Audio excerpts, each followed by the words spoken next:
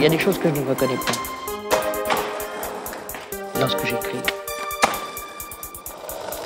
Je suis pas seul